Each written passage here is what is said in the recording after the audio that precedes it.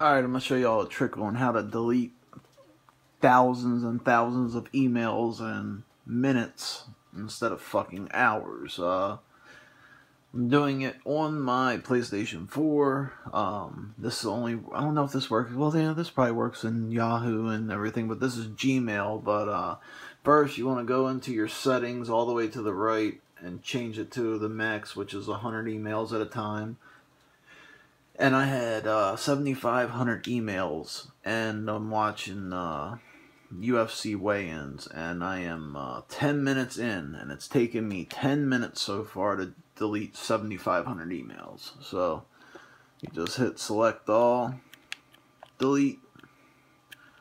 There goes a hundred of them. Select all again, delete. Another hundred of them, and they're all gone. That was 7,500 emails in under, well, probably like eight minutes. So, alright, I'm out. Later.